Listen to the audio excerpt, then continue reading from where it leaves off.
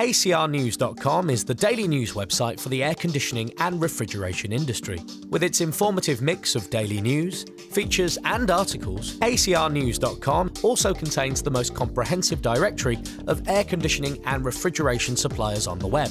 As a result, the site has become an invaluable resource for all air conditioning and refrigeration professionals.